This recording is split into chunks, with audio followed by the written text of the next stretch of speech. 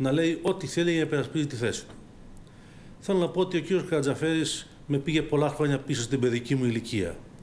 Τότε που στους, ηλεκτρικούς, στους σταθμούς του ηλεκτρικού υπήρχε μια αυτοδιαφήμιση ενός φιλάνθρωπου σε εισαγωγικά του Καραμουρτζούνη. ο κύριος Καρατζαφέρης ήρθε να μας πει ότι έδωσε ένα εκατομμύριο για να σβήσει τι, για να συμψηφίσει τι. Αυτή η επίδειξη φιλανθρωπίας τι νόημα έχει, θέλω να καταλάβω.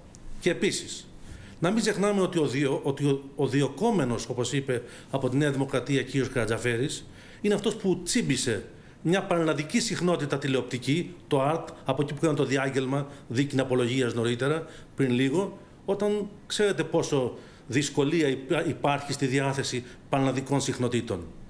Πού θέλω να καταλήξω; Ο κ. Χατζαφέρης είναι υπόλογος.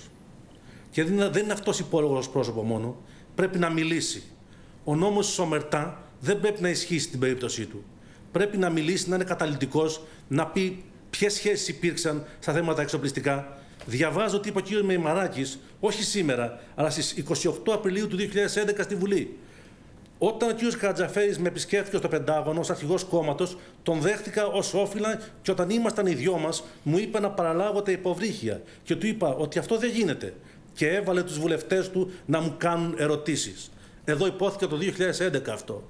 Και έβαλε τους βουλευτές του να μου κάνουν ερωτήσεις. Και έχουμε 23 ερωτήσεις των ε, βουλευτών Γεωργιάδη και Πλεύρη, τότε του Λάος, τώρα της Νέας Δημοκρατίας, οι οποίοι ήλεγχαν την τότε κυβέρνηση για τα εξοπλιστικά προγράμματα, για τα οποία, ένα από τα οποία κατηγορείται ο κύριος Καρατζαφέρης ότι πήρε μια σημαντική μίζα.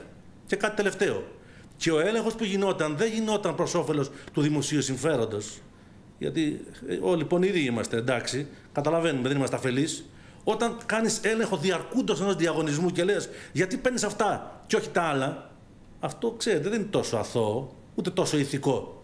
Και όταν επίσης κάνεις έλεγχο κοινοβουλευτικό, υποτίθεται και λες γιατί δεν κάνεις, ε, γιατί κάνεις διακρατικές συμφωνίες για να πάρεις τα εξής αεροπλάνα και δεν κάνεις με μεσάζοντες, με αντισταθμικά ωφέλη, και αυτό δεν είναι αθώο, όπως καταλαβαίνετε.